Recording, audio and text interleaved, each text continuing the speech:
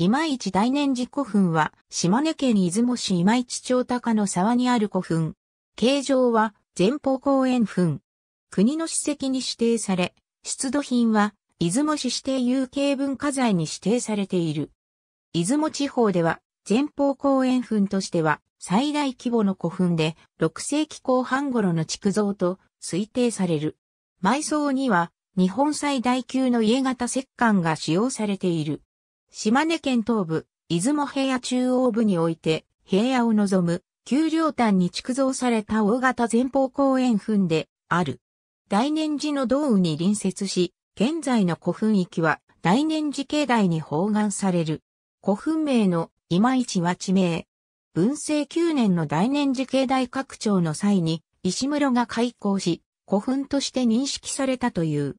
その後、1981から1983年度に発掘調査が実施されている。噴景は前方後円形で前方部を東方に向ける。同雨根流及び災害により特に噴球北側で破壊が激しいが、噴球町は約92メートルを測り、前方公園墳としては、出雲地方では最大の規模になる。噴球築造は古墳としては珍しく、半築による。噴球表面からは、円筒埴輪が検出されているが、吹石は認められていない。主体部の埋葬施設は、両袖式、複室式の横穴式石室で、公園部において、西南西方に開口する。この石室では、前述の江戸時代における石室開口の際に、多数の副葬品が出土しており、現在は、その一部が大年寺に伝承されている。この今市大年寺古墳は古墳時代後期の6世紀後半頃の築造と推定される。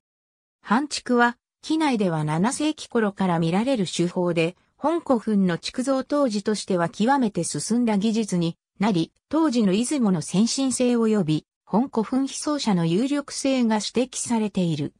この先進性と出雲国風土器、帝郡日置郷城に見えるトライ系氏族の日置氏との関連を指摘する説もある。古墳域は1924年に国の史跡に指定されている。なお周辺では、四隅と質型墳丘墓の西谷墳墓群、及び塚山古墳、上園や月山古墳、上、円や地倉山古墳などの古墳の分布が知られる。大年寺古墳の権力は、そのうちの月山古墳、地倉山古墳へと継承されたと推測される。公園部墳長古墳の規模は次の通り。石室開口部埋葬施設としては、両袖式で、複室の横穴式石室が使用されている。石室は割り石で築かれ、原室、前室、沿道からなり、奥行きは約12.8メートルもの長大差を測る。石室各部の規模は次の通り。原室には大型のくり抜き式毛型石棺が据えられているが、この石棺は、業界岩製で、長さ3.3メートル、幅1.7メートル、高さ1.89メートルと、全国最大の規模を測り、その外石には、縄掛け突起6個を有する。この王棺は、身の横に四角い口を開いている。前室にも組合式の家型石棺が置かれたが、現在はその規定部のみを残存する。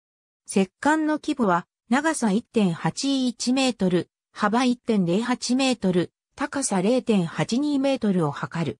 大棺同様、この子棺も身の横に口を開いたとみられる。